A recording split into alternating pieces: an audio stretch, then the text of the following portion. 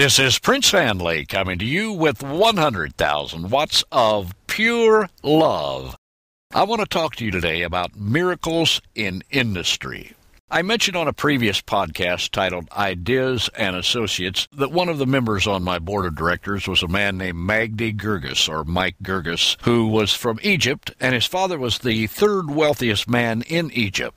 His father actually had more power politically than Nasser did when Nasser was in office.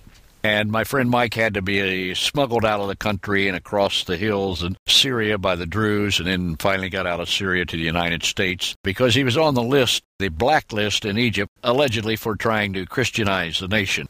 In other words, he loved Jesus. Mike ultimately worked in the engineering department at Hughes Aircraft Several of the men that I knew who worked there had Bible studies every morning. There was a real awakening in Hughes Aircraft in the Fullerton, California plant, as well as the Hughes plant near the LA airport in LA. I forget the particular name of that facility. But these brothers would meet early before they went to work at 8 in the morning and hold Bible studies in the engineering office.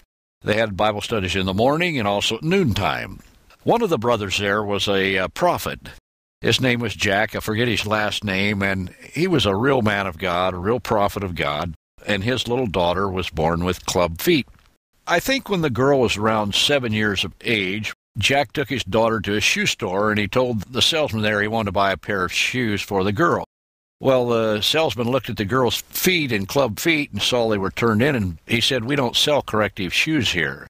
And Jack said to the salesman, Well, that's okay. Jesus is going to heal her. So he told him what size he wanted and everything. And the guy got the shoes and got ready to package them up. And he said, No, I want to put them on her now. Jesus is going to heal her now.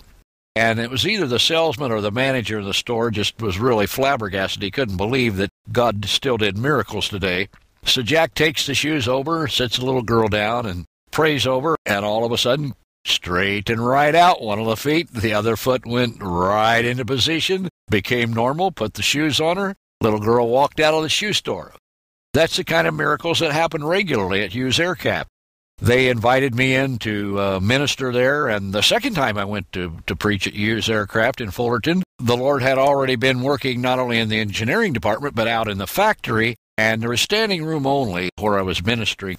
But during one of the noon prayer meetings, a fellow named Walter Meisenbach came up to my friends and he said, "What do you what is this born again stuff you guys keep talking about?" Now, Walter had been a hunchback for uh, 15 years. He was in serious pain every day, all the time, continually. And so they shared the good news of Messiah Jesus with Walter, and he received Jesus as his Messiah, was born again right there in the noontime Bible study, and then they laid hands on Walter and asked the Lord Jesus to heal Walter to deliver Walter from being a hunchback from this bent over condition he had had for 15 years. And all of a sudden, pop, pop, pop, pop, pop, pop, pop, they could hear it crack. He, Walter straightens right up and has a perfectly normal spine. Well, when Walter goes home that night, his wife actually was near the door when he came in, and she looked at him and she saw this shine on his face. Not only was he joyous because he had met Jesus, but he was joyous because he was no longer carrying around that pain he'd carried for 15 years, plus he was standing straight up. Well, this had a tremendous effect on the whole family. Well, it was some time later, I don't know if it was a year or two, I was invited to preach in a high school. There were so many drug problems in the public schools that I had been invited by f- several public schools to come minister to the students. They wanted to help. They didn't even care if it was Jesus that helped them. no prayer and Bible study, but please send Jesus. We need help. And while I was ministering in one of the places, I didn't know who was there. I mentioned about Walter Meisenbach. I don't know really why I did it. And one of the girls piped up and said, Oh, that's my daddy. Let me tell you the rest of the story. And she began to tell what happened at the home and everything. These were some of the kind of miracles that happened at Hughes where people would just get together and pray and read the Bible. Men and women, engineers, secretaries, factory workers, reading the Word of God, worshiping God, and allowing the Holy Spirit to come into their midst, and the Messiah Jesus would do the miraculous. That's all it takes, my friend. Don't make it too hard. Miracles in industry, miracles in marketing, miracles in business, miracles in education, God does miracles anywhere, my friend. He said in Jeremiah 33 3, Call unto me, and I will answer you, and I will show you great and mighty things you don't even know. My friend, God can even do miracles in churches and synagogues. Just let Him have His way. I hope this message has helped you today.